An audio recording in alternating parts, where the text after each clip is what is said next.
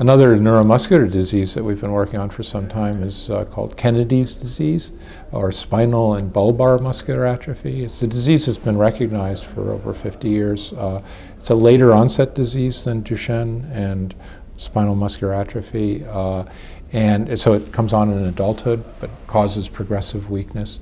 It's kind of a motor neuron disease uh, like uh, ALS, uh, but uh, more slowly progressive, and it also affects the muscles.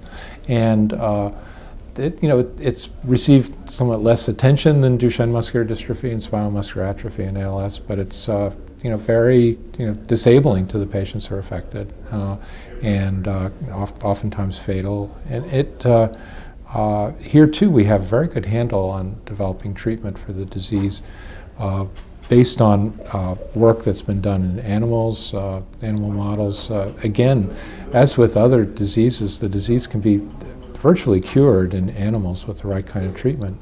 And the challenge has been to take that treatment from the animal studies into patients. And that's what we're doing. Uh, we have a nice uh, uh, study that's a very encouraging, promising, I think, study that we're doing now in collaboration with Novartis, a new drug that Novartis has under development that's uh, called BVS 857 that's, uh, that's uh, being uh, tested in a clinical trial at a number of different sites uh, in Europe and the United States. Uh, we're well along with that trial, looking for patients who are interested in participating in this study.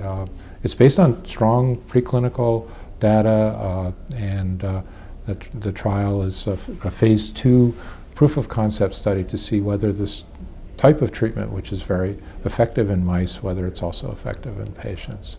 Uh, we had a meeting about that yesterday, and uh, we're intent to move along. Uh, uh we hope to get this, this trial finished by the end of the year, uh, see what the results are, uh, and you know take it on from there and to develop it as a treatment if the results are positive.